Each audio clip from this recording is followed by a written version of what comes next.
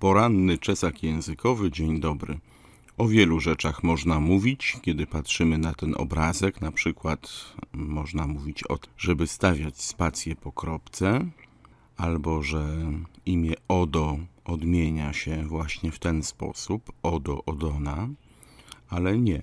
Chodzi mi o odczytywanie skrótu im.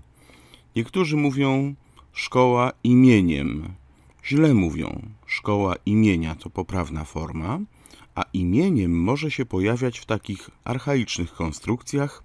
Czynię to imieniem własnym i moich współpracowników, czyli w imieniu. Ale szkoła jest imienia. Dziękuję.